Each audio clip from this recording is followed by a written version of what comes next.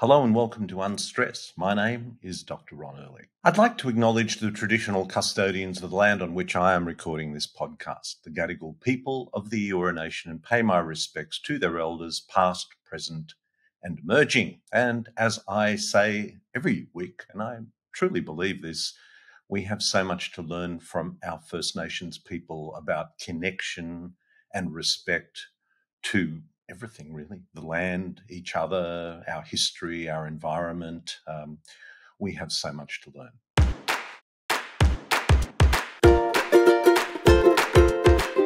Well, today we're going to explore EMF radiation, electromagnetic fields, electromagnetic radiation, which we surround ourselves with each and every day of our lives. Uh, it is when we electrify our home, when we um, make it a smart home where Wi Fi connects all things, the internet of all things. And the thing that often intrigues me, and I'm, I'm, look, I surround myself with technology, so please, this is an exploration for me. And as I've often said, each week I get to ask people that know much more than I do on subjects that I'm interested in. And they ask, they answer those questions, and I learn so much, and I hope you do too. But let's face it, uh, every cell in our body is an electric current, works on electric current, microcurrents. That's how things get across cell membranes. That's how things get transmitted along our nerves. That's how our energy is produced in every cell of our body. To, so, to uh, suggest that electromagnetic radiation or frequencies have no biological effect is naive at best and negligent at worst. And so today we're going to explore that. My guests today are from Spectral Design, a company that focuses completely on, on this subject. Marco Simeoni started as an electrician working in one of Australia's largest scale government infrastructure enterprises. Now, Marco like many people in health, developed a debilitating chronic health condition. After finding no solutions in mainstream medicine, he went to find alternative ways to heal himself, a journey that took him around the world. And through this time, he discovered the biological effects of uh, environmental stressors and their impact on the body. Now, that's a subject that we've explored many times from many different uh, perspectives. And as you know, if you followed the program, environmental stress is one of the five stressors that compromise immune function and promote chronic inflammation. But I'll continue. By reducing his exposure to man made electromagnetic fields, uh, and artificial lighting, his healing process began and became an instrumental part of his journey to health. His motto is to live in harmony with nature, akin to our ancestors before us, to live the way our biology intended.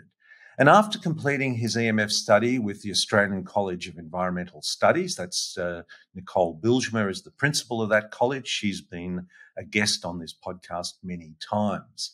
Uh, in Australia, he, he then undertook countless hours of further research and study with scientists, practitioners, and engineers. Now, this is the case. Once we finish our study, our learning really begins. And Marco is a good example of this. Now, Marco has successfully combined his skills as an electrician with the principles of low EMF environments to help his clients all over Australia. He's passionate about developing new solutions, such as the successful home dirty electricity filter that is powerful enough to filter solar inverters and incoming dirty electricity for the power distri- from the from the power distribution grid. Now, we talk about dirty electricity, we talk about what that means. We also talk about solar inverters because, as you'll learn, the solar panels on our roof are a DC current, and uh, we need to convert that to an alternating current. And that's what an inver- inverter is. And it has the potential to emit electromagnetic radiation as well. My other guest is Kara Kieley. Now, Kara discovered the importance of building biology when she became ill in her own home for an extended period of time without realizing that mold was proliferating behind the walls. Now, we've done many, many, pro- well, we've done several programs on, on mold, and, and I would uh, recommend that you go back and have a listen to it because that is a an easy one to miss. But if you sort it out, it can really be life changing. After this mold exposure, Kara became sensitive to electromagnetic fields in a way that she had never experienced before. And this is the significance of all these stressors, because as one mounts up on the other and compromises immune function and promotes chronic inflammation, we lose our adaptive capacity and our resilience, and we become far more susceptible to a whole range of issues. Now, as a health practitioner with a Bachelor of Health Sciences, uh, services rather, Cara, Kara experienced firsthand the impact of environmental causations to overall health, specifically within the indoor environment. Now, it's sobering to know that while you might be uh, overcome by the enormity of climate change and environmental degradation, it's also sobering to know that by making informed decisions, you can reduce your environmental stress in your own home, which is the main source of environmental stress, by 80 or 90%. So, this is a real classic example of having control, more control than you think. This led her to complete an advanced diploma of building biology in Australia and then specialize in electromagnetic fields after further study at the Building Biology Institute in New Mexico, USA. Kara strives to help educate people on the impacts of hazards in our home, a very important topic, and why they need to be considered in a holistic approach to health. Could not agree more. She is currently the main lecturer for electrobiology component of the Advanced Diploma in Building Biology course at the Australian College of Environmental Studies. I hope you enjoy this conversation I had with Marco Simeoni and Kara Keeling. Welcome to the show, Kara and Marco. Thanks. Thanks for having us. Well, listen, the topic we're talking about is something that is constantly affecting us all. But I wondered if we might just start with some basics because we're talking about the electromagnetic spectrum, and we know visible light is part of that. But what else, before any electricity came along, what were we exposed to uh, as humans walking the earth for hundreds of thousands, if not millions of years? Where was our starting point? So essentially, our body is kind of adapted to a lot of natural radiation. So we've got the Schumann resonance, we've got the Earth's natural magnetic fields, which are DC current, we've got sunlight, obviously. So we've had a lot of, yeah, EMFs that we were kind of accustomed to and that we kind of try to get back into how those impact us and how those yeah how we kind of evolved with that. So that's kind of our mm-hmm. what, what about the schumann's? I mean that's about the the earth has its own frequency. That's what we're talking about mm-hmm. there. Yeah so there's there's a lot going on. Um, the schumann resonance is basically a result of uh, lightning. So you get about 50 lightning strikes a, a second uh, globally. And what you have is like a, a cavity between the Earth and the ionosphere. So basically, you get this standing wave effect as a result of that lightning. And that was discovered, I think, around the 50s, uh, around then. So yeah, that's that's one of the ways one of the fields that we've been exposed to. There are scientists that theory theorize that we sort of sync up with that with our brain waves. They are in a sort of similar band. So, you know, that is definitely a possibility, I'd say. Um, yeah. yeah. And yeah. one of the ways that we realized how important it was as well when they sent astronauts into space and realized that they get really sick if we don't actually have those frequencies that we're exposed to. So, yeah, and the protective yeah. areas and stuff as well. Yeah. Yeah because we we've evolved over over millions of years to the point when we ended up with electricity. Um, in, in you know, I think it was around the late nineteenth century. In our home, in our office, in, our world, what are we actually exposed to now? So yeah, so look, we, we were only exposed to DC, so the natural frequencies were are, are all direct current. Now we've gone and created uh, a way of using electricity um, which is AC. So that means alternating current. So the way to, to differentiate those two is with a battery, um, the power will go from one side of the battery to the other, and that's it. Whereas with AC power, the power goes back and forth like that. Mm-hmm. So it's sort of just, you know, basically the whole grid, the whole electrical grid, the, uh, you have current, which is just doing this. And that's why it's an alternating current. It just changes instead of just going mm-hmm. one way. it'll go both. So we brought that in and basically the natural fields we were exposed to, you know, one of the main ones is like the sun's uh, photons, right? So we had a natural spectrum, uh, the visible spectrum. Then we've also got UV and infrared, which make it through. Now we evolved to those frequencies. We developed biological systems and, and uh, we developed a circadian clock, which harmonizes us to nature, basically. So we messed with that completely when we started to bring in like um, incandescent globes and stuff like this. What you get with those is you get um, some blue of the spectrum, some blue and green, which previous to having no the, that AC introduced, we were just using flames basically as a light source. So minuscule amount of blue and green in, in a, in a um, uh, candle. So we've now introduced um, blue and green into that spectrum. Now, blue and green has been shown to suppress melatonin production. So basically, the, the how how it used to be is uh, you wake up to the sun's uh, to sun sunrise, and then that will trigger certain biological processes in the body. Um, you start to produce tryptophan, serotonin, stress hormones, and then at night, in the absence of blue light, uh, that serotonin that's created during the day will convert to melatonin. You start yawning and you go to sleep. It's a natural circadian process. Um, so we disrupted that with mm-hmm. green lighting, and that's just thrown everything out, basically, thrown the system out. So then the other issue with the having that was um, the fact that the lights are just flickering on and off. So we use a 50 hertz um, AC power in a home. So the power cycles 50 times a second, and it's at 240 volts.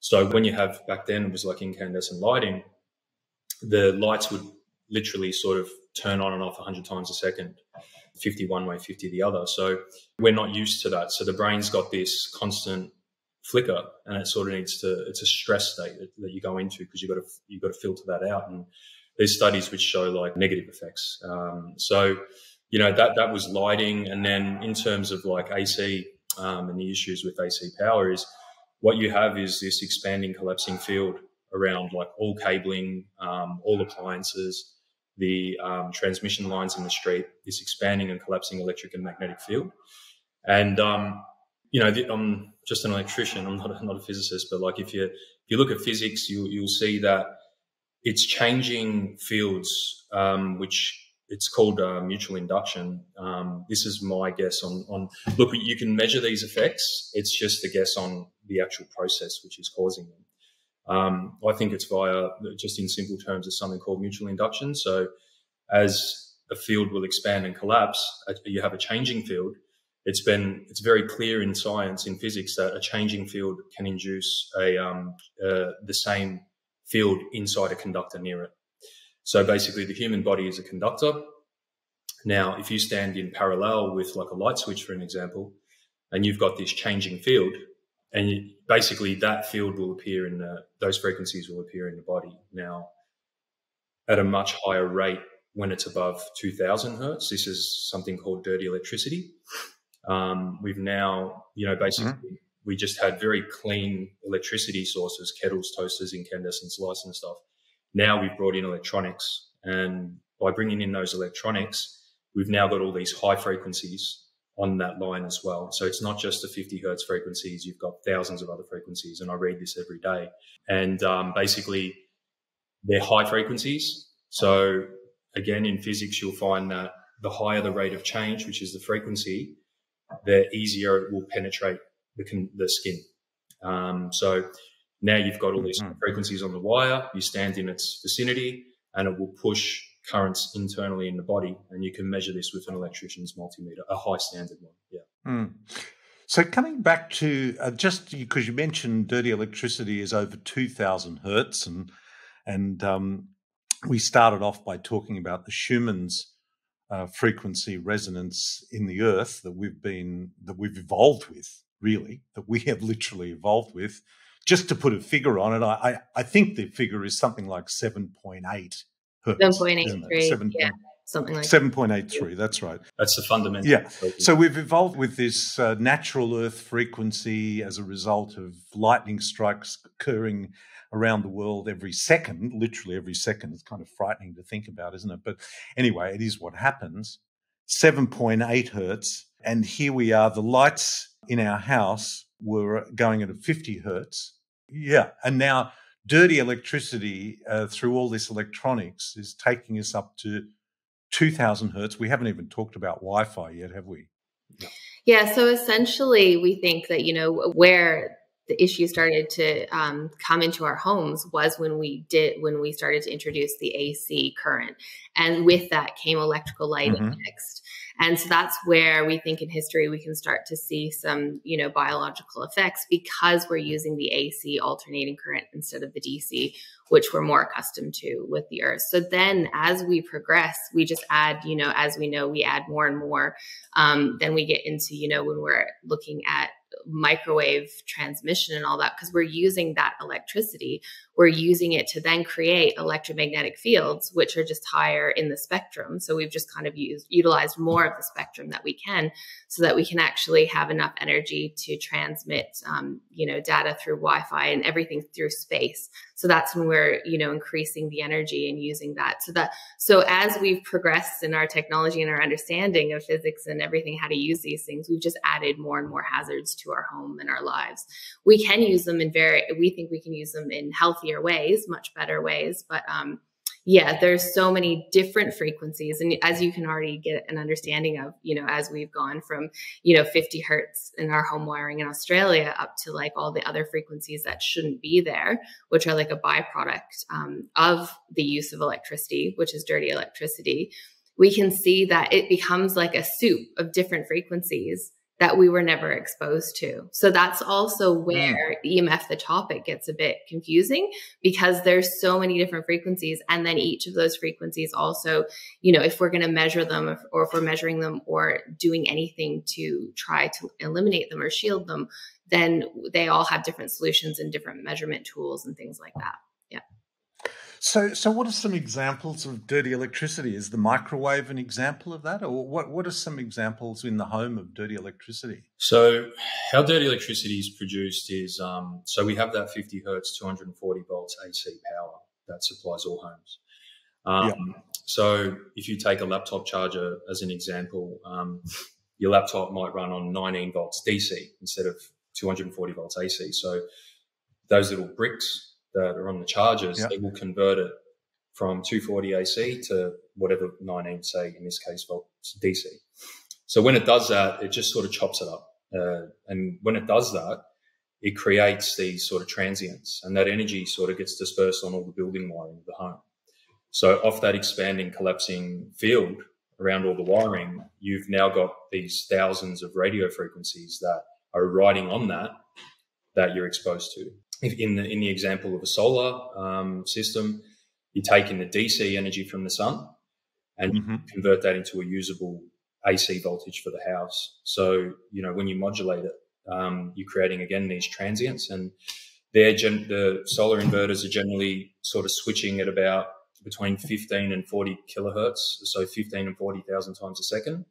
So that energy gets dispersed in all the wiring. You have this high rate of change, and it just punches straight through the skin. Wow. I mean, you just mentioned solar panels, which we're all excited about putting up and think we're doing the right thing, but they create a whole new story.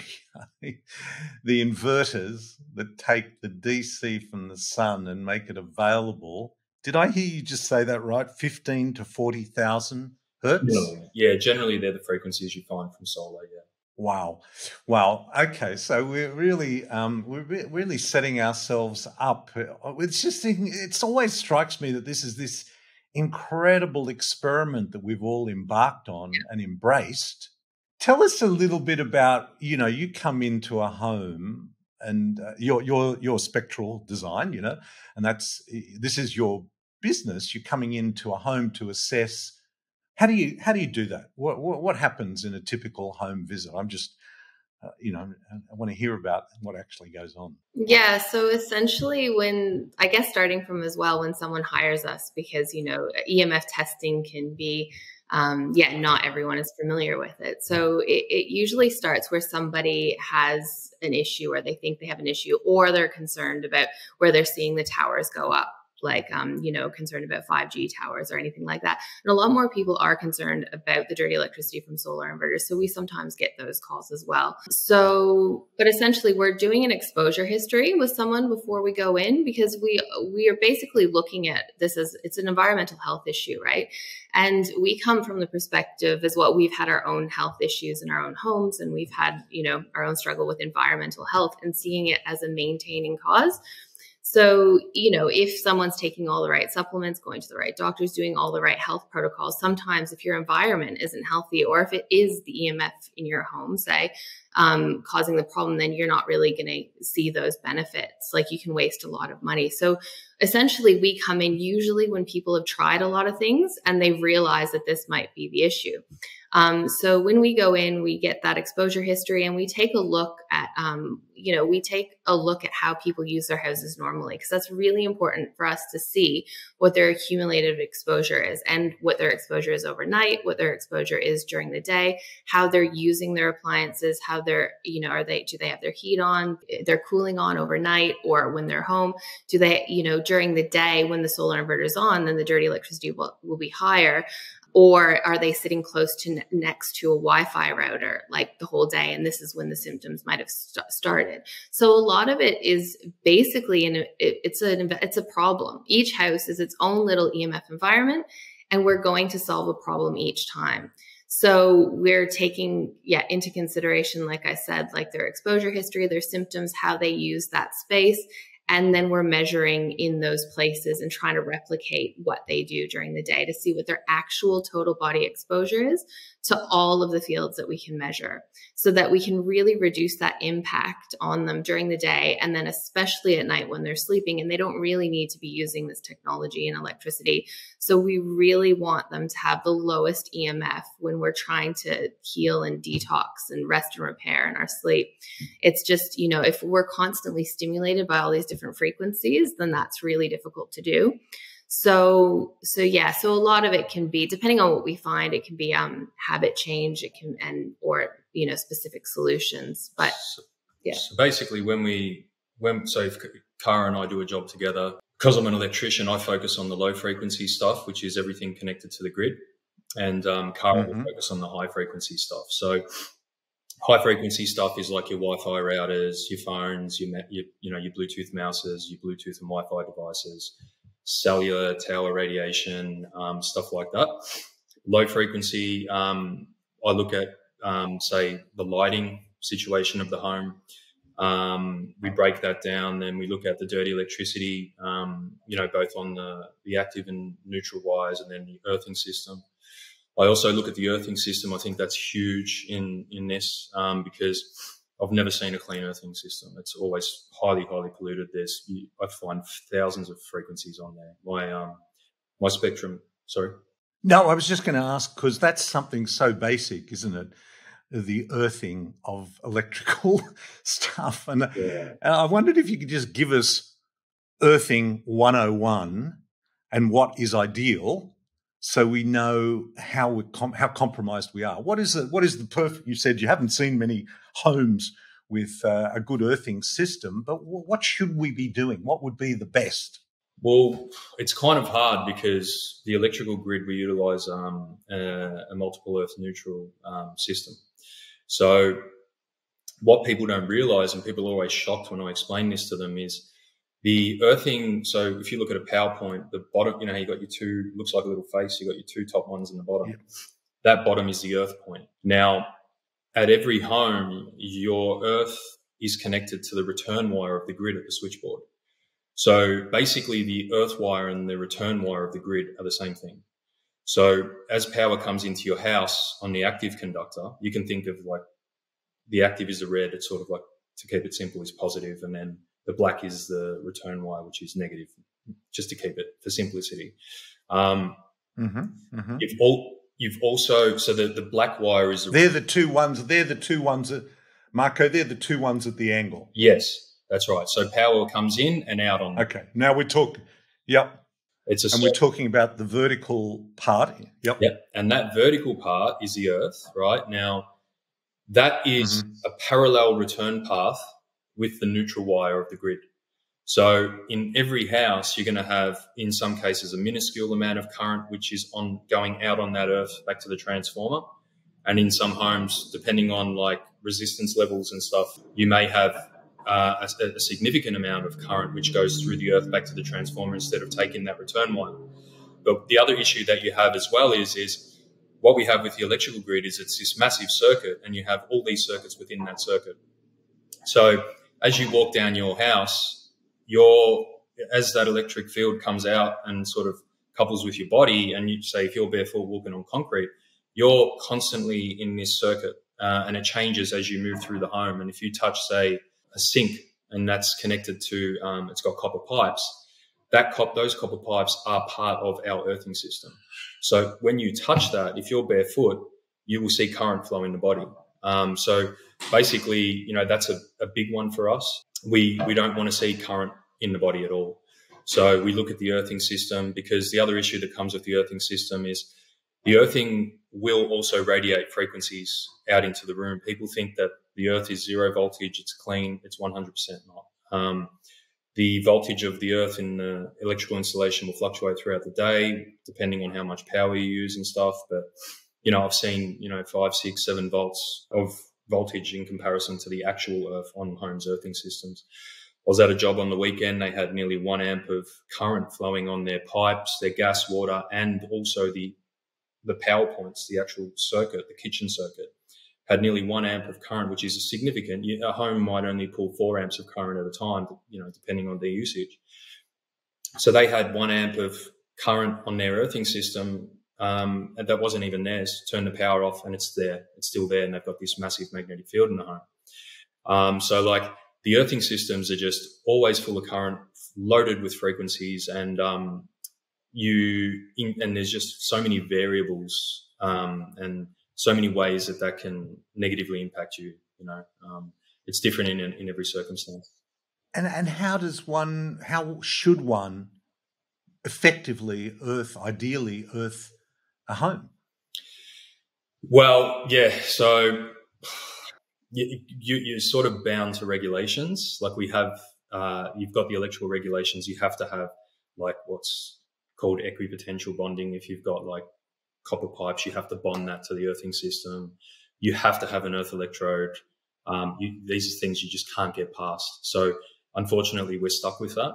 But you know, if you, yeah, you you can clean it up. That you know, like I often find something that is I see nearly all the time is just earth loops and circuits in a house. And then because you've created a loop, you've created a circuit and you'll get current flow. And because you've got current flow, you've got a magnetic field. So unless you've got like a spectrum analyzer and you've got like an, an oscilloscope and, and, the right gear and you can actually measure these things, you won't even know it's there. Like you can have uh, a cable running through the center of your house that's connected to a pipe, which has created a loop somewhere, and you're going to have this this uh, field emanating off it, a magnetic field and slight voltage as well. So, yeah, unfortunately, we we can't do much about it. It's just the way things are. Yeah. Okay, so the the low frequency is the grid and the lighting and the dirty electricity, um, and it sounds like you know the regulations may not be addressing some of the subtler issues around earthing and and how we deal with dirty electricity. Is it acknowledged as a as an issue? Uh, like, do, is this accepted? You know that uh, people are aware of dirty electricity potentially causing problems in the industry. Yeah, in the regulatory bodies, and clear, it's not really this sort of stuff's not finding its way into the regulatory bodies as much as perhaps it should. Is that a fair comment? Well, so there's a few aspects to that because it, it depends on what frequencies we're talking about and how high they are. Because this uh, dirty electricity is also labeled as like EMI, electromagnetic interference. So this is a known thing in the electronics community where th- that actually has to be filtered and suppressed if you're using like high tech electronic equipment because it will interfere with electronics, right? So this is where we're looking at mm. this at different levels than they are because we're looking at it at like the level of where it's interacting with our bodies and like, you know, potentially causing mm-hmm. impact for us. But here in Australia, the regulations are really the issue because when we're taking a look at a solar inverter for a house, say, we don't actually have to have the standards aren't really good enough to not have those frequencies that are going to impact our bodies, but they're good enough so that they're not going to impact the electronics or something in our house, right? So, but at the same time, other mm-hmm. like if you're running a solar power, if you're running a solar farm, say, they're going to do a lot to reduce that ele- dirty electricity. They know about it and they know those hom- harmonics are an issue because they are going to become more of an issue, especially on the distribution grid. They are um, aware of the issue because it will stop things from working properly. But also, it's create it's um, if you're running a solar farm, that's you know that's lost money. All that dirty electricity is lost hmm. energy. So if if money's involved and you have to make a cleaner conversion, you're going to make a cleaner conversion. So essentially it goes back to kind of the regulations and the fact that that's kind of where we're not actually protected where we've had solar companies call us up and say, mm. "Hey, like well how are you like why are you measuring this dirty electricity and telling um, people that it's harmful?" and you know we're we're not going around doing that and we're just measuring it and noticing the health effects. And you know some people when they have noticed as soon as they got the inverter just as as an example that that's when their symptoms started. So you know correlation where the companies have asked us well you know is there any reason we have to make it lower um, you know if it's within the exposure standards? And you know there's there's there, there's no incentive for them to do that. So is, Australia is particularly mm. bad. We think like Europe, Europe will have has better standards for them, how much energy, dirty electricity can be produced. Um, so yeah, there it's I think it goes back to the to regulations and just the fact that as long as it's not interfering too much with how the distribution system works or other electronics, that it's okay. Hmm. There seems to be a consensus sorry, there, there, seems to be a consensus. Which no, no, go on. Yeah, there seems to be a consensus which is shifting that this stuff just doesn't impact biology. Yeah. So you have engineers which are, mm. are working with electronics and they're just trying to find the best way to make it work, but they're not factoring in biology at all. So they just don't look at it or think about it. Yeah, yeah. Well, well, yes, which is precisely why we're having this conversation because I think people do need to be aware that it's an issue.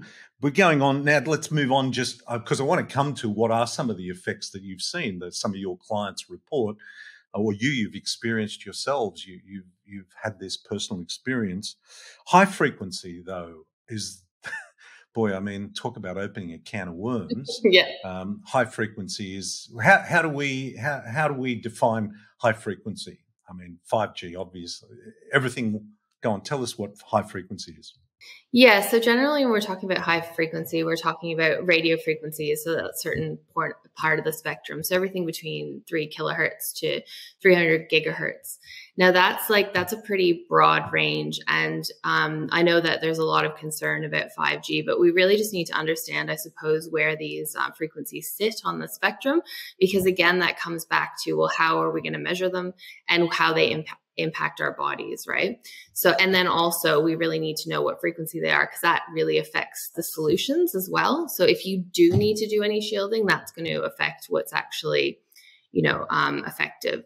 So, in terms of the impact on health, um, this is as well where we differ um, because obviously there independent there's independent bodies all over the world and that's where we use um, essentially we go back to using the building biology guidelines but there's other independent bodies that um, you know when they you know analyze the and critically analyze the research that's available they find thousands and thousands of studies that show that the uh, radio frequencies do impact our health um, adversely.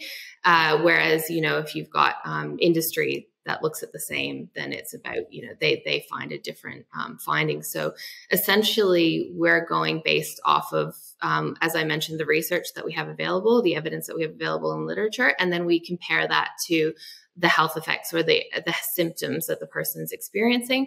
And then that's when we use that um, you know that exposure history to see what's going on. And often we can correlate it to radio frequency exposures. Um, so I suppose some of the common symptoms that we see uh, are when people have pressure on the head, um, headaches, um, tingling, they feel hot. And it's interesting because, especially, um, we get this so often. There's so many different variables in health, obviously. So we get the calls, but it's so consistent where it's like, well, I don't know if I'm crazy, but I've got, you know, these symptoms where I'm feeling this way, but I'm also stressed or I also have kids or I'm also going through menopause or, you know, there's all these other factors. But generally, we can kind of weed out those other variables and find something that correlates in terms of our measurements or when they got new technology, say the NBN or something like that. But what's really common, I find, with Wi Fi exposure, especially in the, the last probably two years when routers, um, Wi Fi routers and modems started to become a little bit more um, powerful. Um, and you know how you have these mesh networks all over your home where they've got like the Google homes and, you know, so basically, it's you know they're setting up devices all over your house that are transmitting and receiving data. And it's basically you're creating more of a microwave you know in your home because it's 2 2.4 gigahertz is what's really common to use. And that's also what we use in a microwave you know and then we have our 5 gigahertz bandwidths. And then we also then have our 5g technology which is at um, low band, mid band, and high band frequencies. So there's a few different frequencies that we use for that technology. So, um, but going back to the symptoms of the routers and everything, we usually see that people get, um, yeah, that really the, the pressure on the head, the hot, almost like hot flushes. The other really common thing is feeling is people saying, I feel like I've got early onset dementia. And that mm-hmm. is so common for when and when I hear that, I generally know that someone's going to be sitting really close to really high source of radio frequency um, for you know at least a couple hours a day.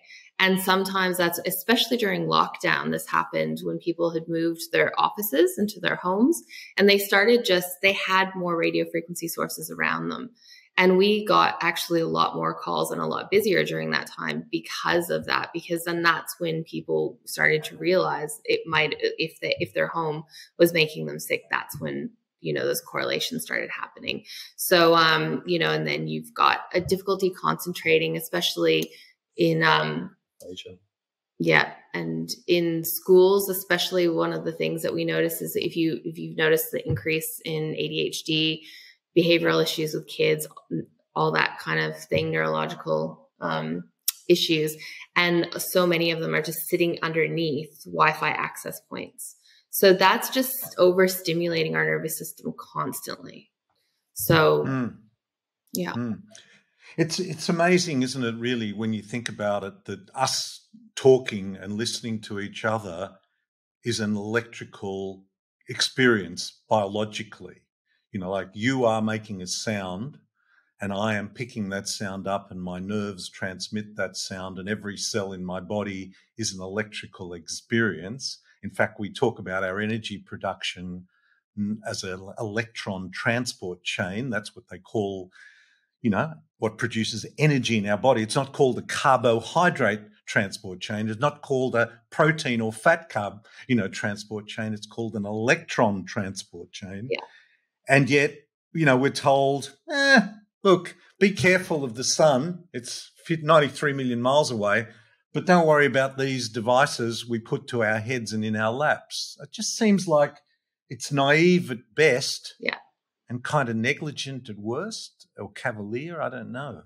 Absolutely, because that's that's the issue. It is disrupting our biological processes, which are electrical. And this is it. Mm. It fascinates me how we've gotten to this point where we don't consider that and just use technology in a safer way, because we do. And one of the things in, in research of how this causes um, oxidative stress, because I think a lot of this is because we're talking about non-ionizing, like radiation. We're not talking mm-hmm. about ionizing radiation. And I think that's where, you know, because when you bring the sun in the UV, that's where we're talking about ionizing again. So this is where I think the the big difference is um, in people's thinking. Because it's low level, and this is where the exposure standards don't really protect us because they we can't actually um, you know have that data for the long term low frequency non-ionizing effects of these of these frequencies but we do have we do know how they um, you know basically cause oxidative stress and ultimately dna damage. Um, they do you know disrupt our calcium voltage um, gated or calcium calcium channels. Our calcium channels. So basically just you know letting um, an, an influx of calcium into our our um, cells that shouldn't be there because of um, yeah how how it changes the ionization. So essentially, we've there's so many different ways in in which it indirectly affects our DNA and our biological processes, but people just don't give it enough emphasis because of the fact that it's not um, ionizing and doesn't have enough energy straight away to knock those electrons off the mm. cells and and produce DNA breaks and and that mm. ultimately um, cancerous effects. So yeah, yeah. I mean, it's kind of sobering historically to reflect on the fact that you know, I think in the 1940s, it was pretty well accepted that inhaling tar into your lungs wasn't good for your health. Absolutely. Um, but the authorities took till about early 2000s to actually acknowledge that uh, it, that's when it was admitted in the uh, Congress, US Congress, about 2006, that smoking was addictive. Um, so, you know, these things, and that was smoking, my God. You know, here we are, we're all in on this, aren't we? I mean, we're talking through technology and high frequency and all of this. So we are, we're not about to become, we're not about to shut it all down. How, what are some of the solutions? How do we live with it? How do we live with it in a healthy way? What would be some of the things that we should be doing and looking at? Um, so, yeah, look, our, our whole approach is um, like as we just discussed. Um, there are documented biological effects. Um, the theory is there as well. Like you would expect that lighting would influence your circadian rhythm. Um, you expect that um, having current flow in the body would have a negative effect. Um, all of these things. So we just aim to, obviously, we evolved in nature. We aim to sort of just have have, have our homes as close to nature as possible. Um, we've brought in all these different kinds of fields and frequencies with different amplitudes and modulation. And it's just like you can, you know, as you mentioned before, the electron transport chain, like the body is so unbelievably complex. And if you were to study these things, you could study this for 10,000 years and know nothing. Like you, the, the amount of compounding effects. So, you know, what we want to do is we want to just eliminate or lower or just return, return to nature as much as possible. So, as an example, sort of in my room, um, what I've done is I've altered my lighting so that it's DC. Um, so it's just like, you know, just got a small DC field instead of this expanding, collapsing 240 volt field with all these thousands of radio frequencies on it. So I'm not exposed to that electric, alternating electric field. I'm not exposed to those dirty electricity frequencies. Um, I've now, now, Marco, hang on. That that's a big that's a big statement to change your lighting from alternating current to direct current. I mean, I'm I, you know don't even pretend to understand all the physics behind that, but that's a fundamental change, isn't it? Because the electricity coming into our house is alternating current. How did you do that? Oh, look! How did you case, change it to direct current? In this case, I've just used rectifiers and they do produce a little bit of dirty electricity, but I set it up in a way where I filter it and I'm not impacted by that. Yeah, there's there's endless ways of doing it. Yeah, I just I, I did that, and um, yeah, so now I'm not exposed. And that's still that that's still safe, electrically safe. I'm sure it is, but I'm just oh, totally. yeah, safer. It's safer. Yeah. Safer, safer. Yeah, yeah. Yeah. Okay. Yeah. So to go to some of the simple things that you can do to reduce your exposure, yep. yeah, is it just you know essentially distance is going to um, be your best friend, uh, and really that's what we see. You know, when we're talking about um, people who've you know all of a sudden had really um, strong um, bio like or symptoms to something sometimes it can just be that they're sitting too close to a router during the day. Because when we're in the near field of um, devices as well that are producing radio frequencies the electric field and magnetic fields haven't coupled yet to go through space so um, in a smooth wave so they're more biologically disruptive. So any distance that we can create and that's like from our phones we want to be on speakerphone you know or have um, headphones preferably AirTube headphones so that the um, I'm not sure if you're aware of AirTube headphones, but where they just can't talk. I, I am, but to remind our listener. So essentially, where you've got the um, you don't have cords going into your ears as they are conductors. Um, you just have hollow tubes, so the sound waves can just pass through the hollow tube instead. Um, so things like that are really going to, you know, and in research that shows even ARPANSA, who um, are the Australian um, Radiation um, Protection Agency that basically sets the guidelines for telecommunications in Australia. They have even come out now with ways to reduce your exposure to things like mobile phones and Wi-Fi, etc. So um, and one of the um, the things they recommend is yeah, distance and not talking with your phone next to your ear because that's when you're going to start absorbing a lot of the radiation. And in the research, when you know a lot of people have talked about brain tumors and things like that and the potential association there, but that's where you're going to start seeing more of those correlations is when somebody uses the phone on the same side of the head for like more than 30 minutes every day. And if you do use it more than that, you're just increasing your risk exponentially. So, um, really, we want to take a look at the, the timing or cumulative effects during the day. So, just reducing that, um, increasing the distance from these things. Um, also, with our phones, we can turn off things like Wi-Fi if we're not using them, because all of the all of our phones and all of our devices now that are transmitting radio frequencies, they're just meant to do it all the time, but they don't, we don't really need them to do it all the time. So if we're not using Bluetooth, if we're not using Wi-Fi, we can turn those antennas off and we can reduce our exposure. So a lot of it's habit change. You can reduce a lot by habit change and um, and you know sitting further away from your router. Technically, we'd always um, we'd always want to go hardwired um, with internet so that you basically aren't using the wireless um, technology you're just using it through ethernet cables so there's so many ways that we can use it in a safer way the, the, the, I mean, you know, the Wi-Fi is just ubiquitous, really. I mean, everything. I know when I was doing my own home here, and, and the the guy was putting some speakers up in the ceiling. He said, oh, I'll just put in Wi Fi everywhere. You won't have any cables. And I said, Well, no, you won't. You're going to run the cables. And that was the blue cable with the, the, the little sockets. And, and that is preferable. You're, that you would say obviously that is preferable or so you can oh yeah it, it's definitely preferable to reduce your wi-fi um, in the home and like you know as in we can work we can go back we can um, we can network all these things. That's what it's called networking when we're, we're using those Ethernet cables um, throughout the home. So, you know, everything is kind of, it's interesting because a lot of people are, um, you know, depending on who you get to wire and the kind of technicians you have, some people don't even you know they're very shocked when you even ask for that now.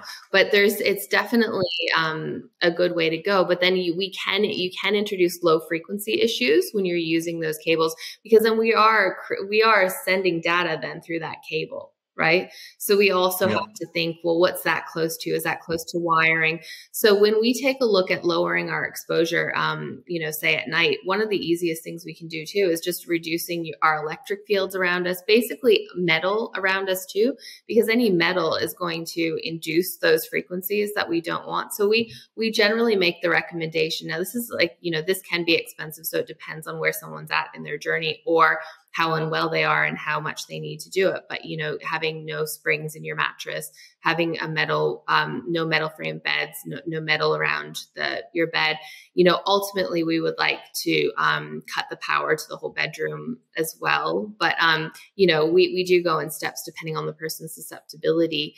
A lot of those things, you know, you can um, do yourself in your own home uh, and, you know, see how you feel. But so the lower frequencies can be introduced when you're using those, hmm. you know, anything that's wired then. Yeah. Hmm. I remember a friend had someone come in to do an EMF assessment of their home and found that the biggest source, and they had a lot of Wi Fi in the house, but the biggest source was the adjustable bed um, motor under the bed that sat them up to watch TV, which was right yeah. there within within and and that was the biggest source of wi-fi of radiation in the whole house where they were spending their entire night on. The the other thing you mentioned distance. What what sort of distance? I mean, you know, we're still living in our homes. What sort of distance is preferable? I mean, the further away, the better. Obviously, I guess. Yeah, so essentially, yeah, the further away the better. But you know, when it comes to like a router, things like that, basically you're going to be out of that. Each frequency will have its own near field that you can calculate, and this is where it gets a bit complicated. But essentially, as long as you're like, um, you know, a, a half a meter to a meter away from that, then you're going to be out of that near field. But um, we, we would still want more distance than that. So it's going to be as far as practical, right? Um, and mm. for an example of a phone, I'll give you an example where we see people that don't want to. One person has an issue with radio frequencies, the other one doesn't. That's quite common in a relationship as well that we see one person sensitive, one person isn't. So when um, when we need to look at how someone's using their phone and one partner won't turn it off at night then that's where we need to look at what else we can do. So we often find that the other the person who's sensitive will cope quite well. If we just get them to put it on the other side of the room it can be like full volume on so they can receive the calls but then we'd get them to turn the mobile data um, wi-fi and bluetooth off so that they can receive calls and normal texts if they need to because it's just there for an emergency but it's not mm-hmm. constantly transmitting and it's far enough away that it's not causing too much of a problem. Hmm. So that's an example of where we can kind of um, look at distance to really reduce our exposure and symptoms if we have them.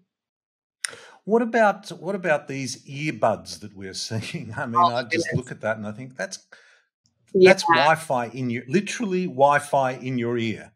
So it's yes, it's Bluetooth. A lot of people are under the um, misconception that Bluetooth is better, but really it's meant to travel less distance, so it's less energy. So technically, I suppose you're going to absorb less and it's not going to have such an immediate impact potentially, but you're putting them in your ear. Now, the thing with these devices and radio frequencies is that they're measured over a six minute to 30 minute period really close to your body. So, and not even in your ear, but like it could be, you can read the technical information for all of this um, in your phone or these devices where you can see how far away they were actually measured to determine if they were safe. And usually it's about um, five to 10 millimeters away from your ear. So it's not even on your ear where most people use them or in your ear. So, and that is for a short period of time. And that's how much radiation that you actually absorb, right? So there's no way for us to actually accurately measure our cumulative exposure and how that's affecting us throughout the day. I've got friends that sleep with them in their ears, you know, like little kid, like kids are wearing them. Their blood brain barriers are thinner. And we know that this can impact um, that Wi Fi, you know, according to the research, that that can um, decrease the blood brain barrier and let more toxins in. And that's worse when you've got, you know, thinner skulls developing brains. So we really are doing this without really thinking about the long term consequences. And there is not the research there to protect us from those because that's not how these things are studied or, or deemed to be made safe. Mm-hmm. Well, I mean, you've raised so many issues here today that we literally are bathing ourselves in if we were just finishing up and um, and and uh, going to give our listener a couple, I mean, obviously, to know that there are building biologists that can come in and assess this is a subject we've covered a few times, and I think it's worth reminding our listener about the fact that this is available and potentially an issue.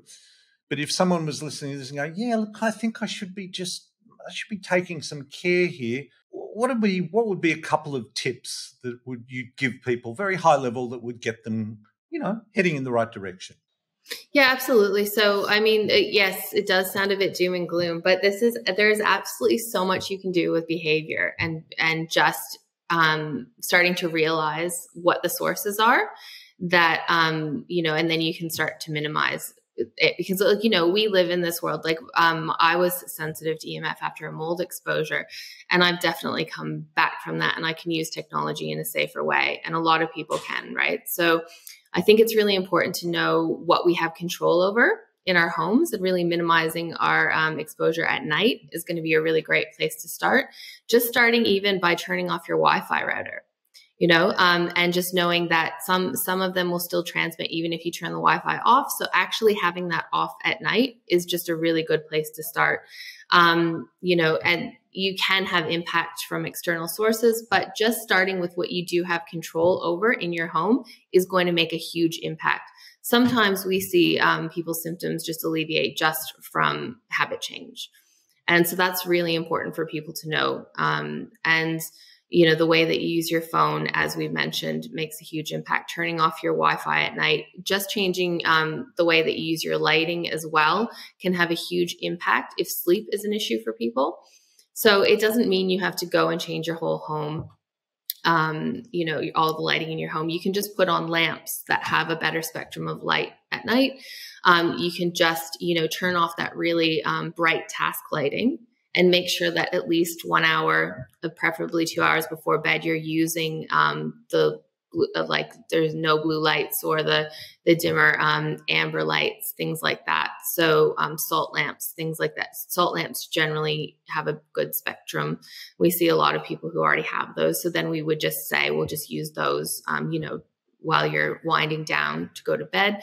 So anything we can do to help our bodies, um, yeah, not to press that melatonin and, and, make it so that we can rest and repair at night is good.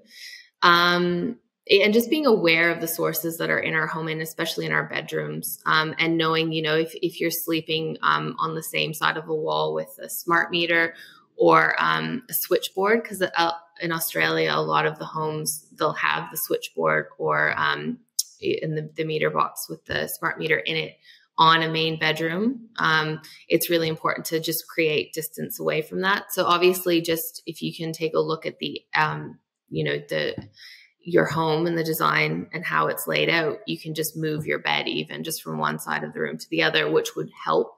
Um, it's not going to eliminate it, but all these things will help and reduce your total cumulative exposure.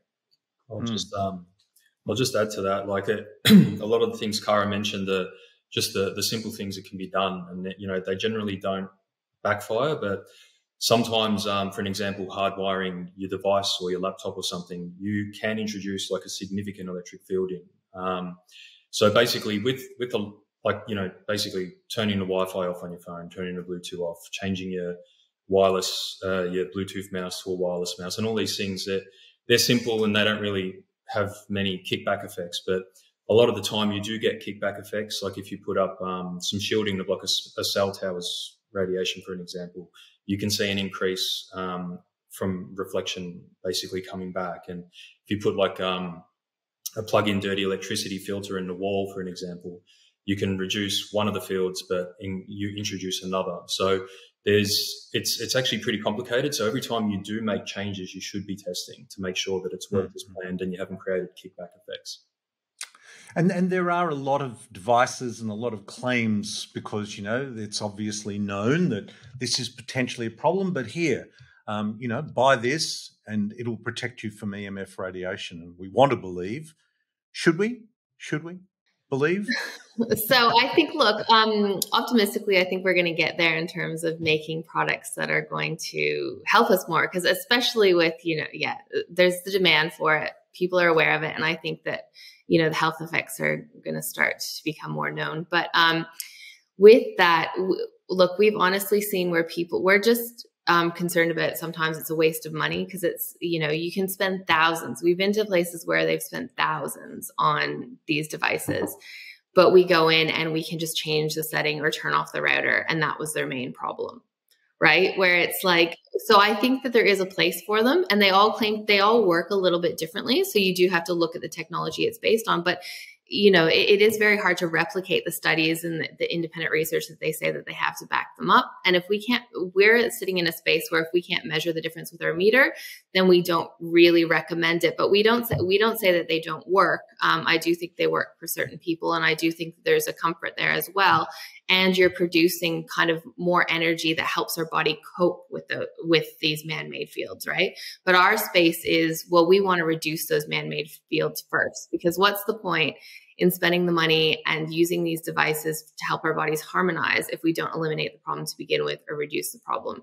So it's more that we, it's more like a holistic approach, right? It, they need to be used in conjunction with, and um, and like Marco said, with the plug-in filters and with, um, you know, it's the same with devices. It can be a false sense of security um, so I really think that if, if people really want to um, get more control over the environment, getting your own meters, getting consumer meters, and starting to measure and to understand and to, you know, so you can see how your exposure is actually reduced, then that can give people a lot of peace of mind to just feel like they've got control over where, you know, I think that's a lot of it. Yeah. Hmm. Well, Marco, Kara, thank you so much for joining us today. It's been really a, a topic we all need to be engaged with. So thank you so much. No worries. Thanks for having us. Well, it's a big topic. It's seemingly overwhelming. But with knowledge comes power. And if you are waiting for the authorities to regulate this, I think we are going to be waiting a very long time. There is just simply too much involved, too much money and lives involved. And it is such an integral part of every single one of our lives. There's no question about that. And we're not going to switch off technology. I mean, we're just not going to uh, get rid of technology. So we have to learn about the, the potential problems and how to mitigate them. And often distance is, is our best friend here and turning stuff off, particularly when we go to sleep at night. Look, this links back to a holistic approach to healthcare. Sleep is the undoubtedly the most important part of the day. And as we're discovering, quantum biology underpins so much, fact, everything of what we do on a cellular level. And on a cellular level, it's so interesting to note that um, the thing that produces energy in our body, the mitochondria, go through what is called the electron transport chain. So when we eat nutrients, be they carbohydrates, fats, or proteins, they get broken down along with water and they drive the electro, electron transport chain to produce energy called ATP, adenosine triphosphate. Interestingly, adenosine, that molecule, is what pushes us into sleep pressure. It's, it's the chemical that builds up in our body and causes sleep pressure. But I digress.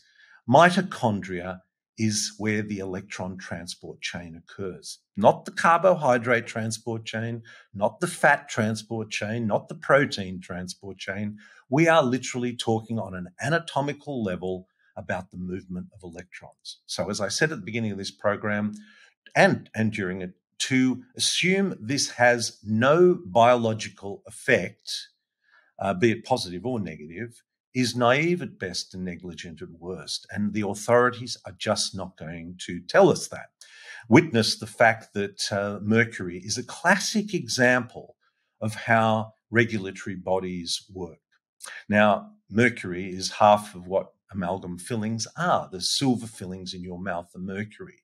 Now, when a dentist does an amalgam filling, it is illegal for him or her to put the little bit of leftover that he hasn't used on the patient in the garbage or toilet or down the sink.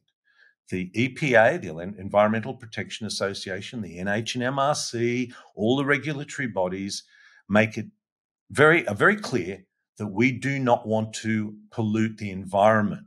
But guess where the regulatory bodies feel the only safe place to store this material is? In a human being.